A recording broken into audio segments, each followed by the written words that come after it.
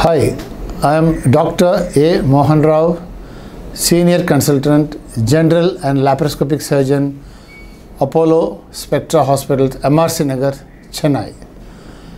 How do we heal fissures permanently?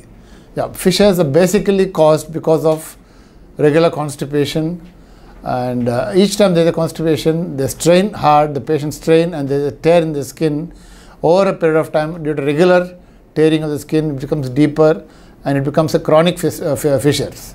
And these chronic fissures do not heal by themselves, by even with medicines. So we need to do an operation and uh, most of the patients each time the fissure becomes deeper and deeper, the anal muscle becomes tighter and tighter. When they become tight, there is a difficulty in passing motion. So again, there is constipation.